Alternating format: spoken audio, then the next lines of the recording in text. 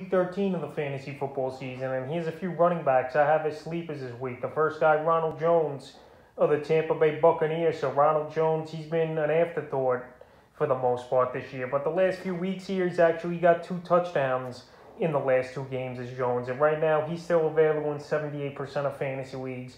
We know Leonard Fournette, he's the undisputed number one back over there in Tampa, especially last week where he had four touchdowns and 40 plus fantasy points. So the last few weeks here for Ronald Jones, week 11 versus the Giants, 8 carries, 33 yards and a touchdown. A week 12 at the Colts, 7 carries, 37 yards and a touchdown. So this week another good matchup for Ronald Jones and the Bucs at the Atlanta Falcons, who we know can't stop anybody, and they give up the seventh most fantasy points to running backs on the season. So right here, I could see this ball game getting out of hand.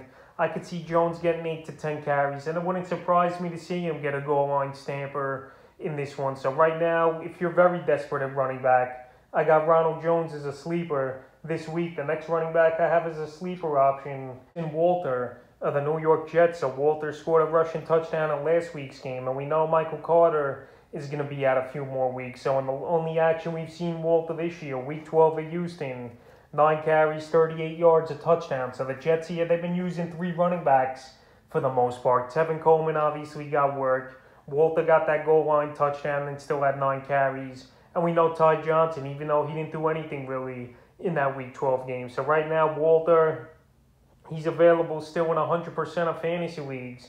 And this week here, it's a pretty decent matchup versus the Eagles that give up the ninth most fantasy points to running back. So would it be surprising to me if Walter gets 10 to 12 touches in this game and 60 yards possibly? It wouldn't, I think, because this game I could see being a tight ball game with the Eagles and the Jets, especially after we saw last week the piss poor performance by that Eagle offense. So Austin Walter, he's out there in tons of leagues, and if you're totally desperate, he's definitely a guy you just dart throw and put in your lineup as a sleeper. And the third and final running back I have as a sleeper options, DeeJay Dallas of the Seattle Seahawks. And DeeJay Dallas, he's been getting more work over the last few weeks here. We know Chris Carson's hurt with the neck injury. We know Rashaad Penny's not 100%.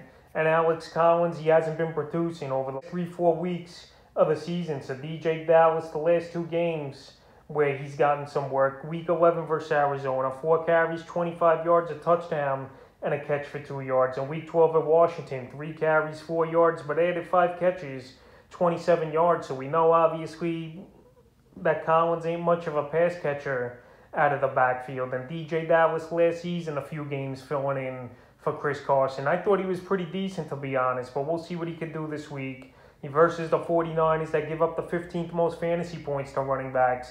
And if the Niners do get off to a good start, Dallas might come in there from dump offs and catching the ball out of the backfield. So right now he's available as Dallas in 94% of fantasy leagues, and he's definitely a sleeper option this week. So that's a few running backs I have as sleeper options for week 13 of the fantasy football season.